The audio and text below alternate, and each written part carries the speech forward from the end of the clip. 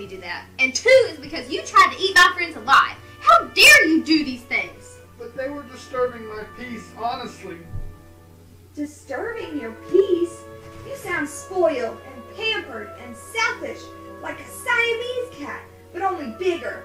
Are you gonna sober up? Well, as king of the jungle, I'm supposed to be that way. Spoiled, pampered, selfish, but you turned me into a coward cowardly lion. That was a big mistake. Oh, we're sorry.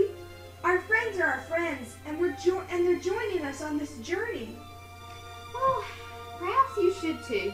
We'll help you, even though you are a cowardly lion, and we'll help you face your fears. Well, actually, ma'am, I've obviously been a coward since before I got this crown and this uniform. All the creatures, great and small, come from miles around and laugh at me looking like this. I've worn it since the costume party the other year, thinking I'm ridiculous, especially for the king of beasts. Scarecrow, Tin Man, are you boys all right? No, we're not all right. It's that lion over there.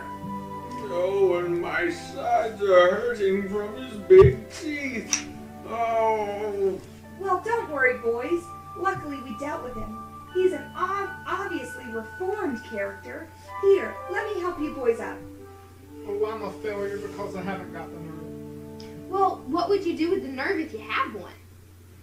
There's no shame in explaining what I would do with the nerve, if I had one, that is. Let me put it in song. Maestro? Life is sad, believe me, missy, when you're born to be a sissy without the vim and verve.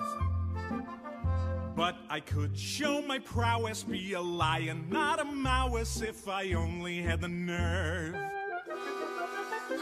I'm afraid there's no denying, I'm just a dandelion, a fate I don't deserve. But I could change my habits, never more be scared of rabbits if I only had the nerve.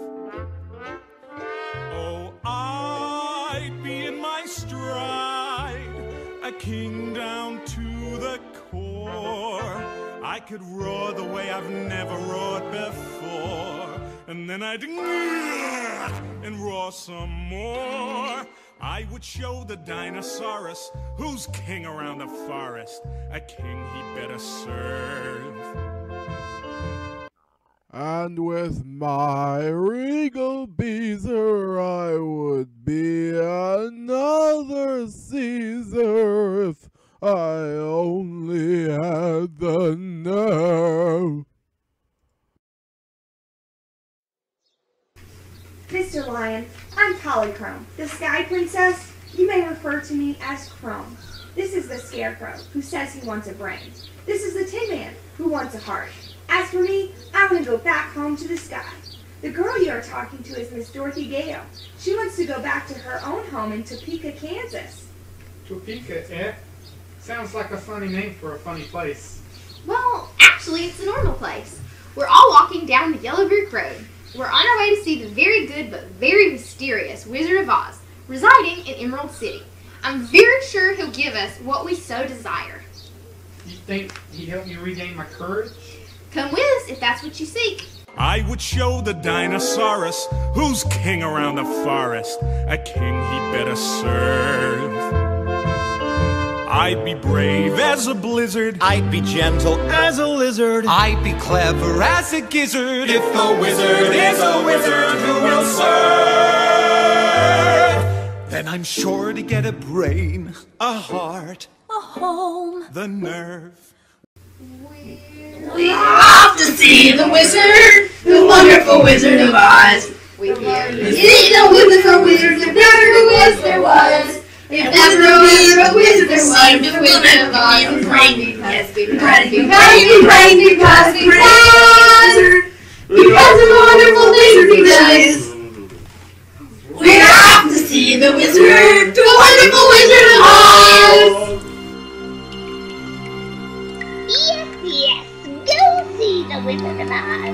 To the Emerald City. My army of flying baboons will take care of you and rip your scarecrow to shreds. And transition your Tin Man to nothing but scrap metal to feed old Balthazar I'll turn your lion into a teensy weensy little mouse, and your rainbow friend into a gloomy, gray, depressed, homeless, mortal girl. And as brat, your ruby slippers are mine to put in my collection of lost treasures.